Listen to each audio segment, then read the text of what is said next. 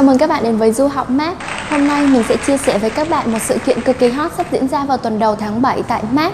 Bao nhiêu bạn đang ngồi trước màn hình là fan của trường đại học Sejong, trường đại học pizza thẳng hàng đầu tại Seoul và Hàn Quốc về chuyên ngành du lịch khách sạn với cực kỳ nhiều học bổng khủng dành cho sinh viên Việt Nam.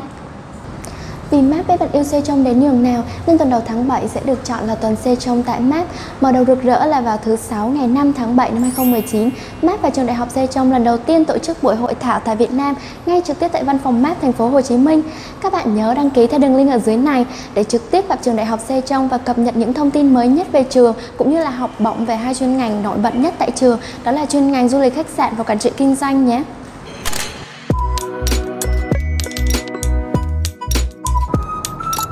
Bên cạnh đó, trong suốt một tuần lễ từ ngày 1 tháng 7 đến ngày 7 tháng 7, trang Facebook tư vấn du học mát và YouTube sẽ đăng tải đều đặn các bài viết về chủ đề điều kiện tuyển sinh tại Sejong, chuyên ngành thế mạnh về du lịch khách sạn tại Sejong, ký túc xá tại Sejong và cập nhật học phí tại Sejong cùng với rất nhiều chủ đề khác mà Map muốn gửi đến các bạn. Các bạn nhớ theo dõi và đón xem nhé. Hẹn gặp lại các bạn tại Map và Sejong.